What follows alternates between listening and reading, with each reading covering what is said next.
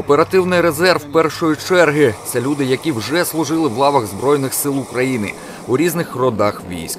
Гвинтокрил Мі 8 висота близько 15 метрів. Задача висадитись та зайняти позиції.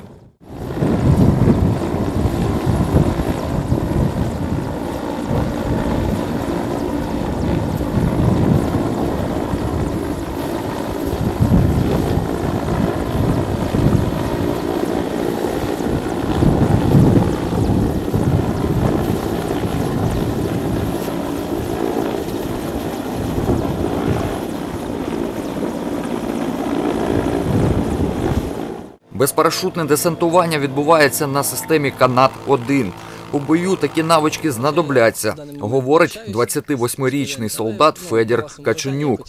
Чоловік служив у десанті, але на Львівщині. Дане він десантування мені е, нагадало, що я е, десантувався з парашутом 10 років назад. Е, враження дуже хо- хороші моїх товаришів. Е, всі задоволені даним вид десантування. Е, Далі ми я ну зрозуміло, що було е, трохи страшно для першого разу, але е, другий раз вже було набагато краще. Вперше висадився з гвинтокрила у такий спосіб колишній боєць Національної гвардії України Руслан Клейменюк.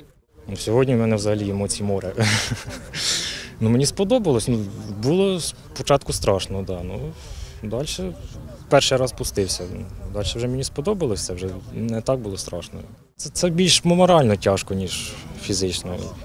Ну, себе настроїв, спустився, все нормально.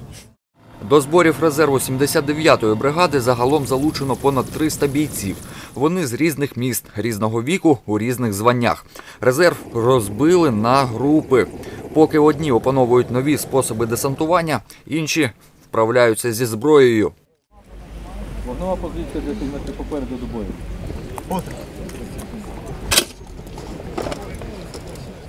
Ну, На даному начальному місці ми опрацьовуємо одноманітність прицілювання. Це такий немаловажний факт, що повинен кожен військовослужбовець знати для цього. Ми, е, як ви бачили, е, ставили пулю на ствол для того, щоб вони зробили м'який спуск. Мало хто розуміє, як правильно, як правильно натискати на спусковий гачок, і ми це вчимо. Для, для чого це потрібно?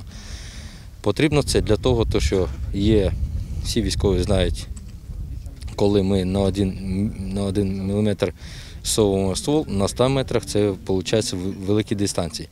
Серед резерву є люди з бойовим досвідом. Юрій з позивним Цвіток воював на сході країни у 2015 році. Чоловік каже, навчання та відточування військової справи зайвим не буває.